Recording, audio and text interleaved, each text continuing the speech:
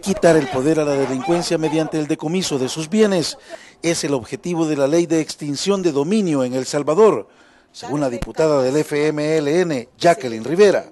Un ladrón sin recursos, un, criminal sin recursos, tiene menos capacidad de acción que un criminal con recursos. El primer propósito de la ley es sacar de circulación esos recursos y poner en una situación al delincuente de menos capacidad de seguir delinquiendo. Ese es uno.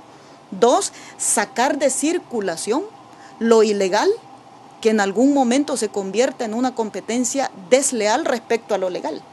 Han habido empresas que han quebrado, que han quebrado producto de que hay otras que le compiten con dinero de lavado. Entonces, ese es un segundo propósito de la ley. Y un tercer propósito es inhibir, inhibir a las personas que se prestan a hacer testaferratos, a hacer prestanombre, que se prestan a lavar el dinero del crimen, del narcotráfico. La ley debatida en la Comisión de Legislación de la Asamblea Legislativa permite que el porcentaje obtenido del accionar de los narcotraficantes o de las pandillas pase a las instituciones encargadas de combatir el crimen, entre ellas la Fiscalía, la Policía y el Ejército. Bienes, conocemos experiencias de Colombia, de Costa Rica, de Guatemala, pero cada país tiene su propia prioridad. Nuestra realidad no es la de esos países, es muy, eh, muy particular la del Salvador.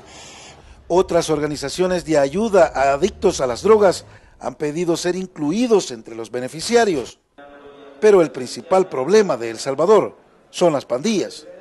Desde luego esos recursos deben de tener un destino, insisto que prevenga, que combata y que contribuya a curar el mal que ocasiona, por decirle algo, el narcotráfico. Pero en El Salvador no es el tema de las drogas lo más eh, grave que la gente vive. O sea, aquí lo que necesitamos es quitarle recursos a quienes hoy se dedican a extorsionar, por ejemplo.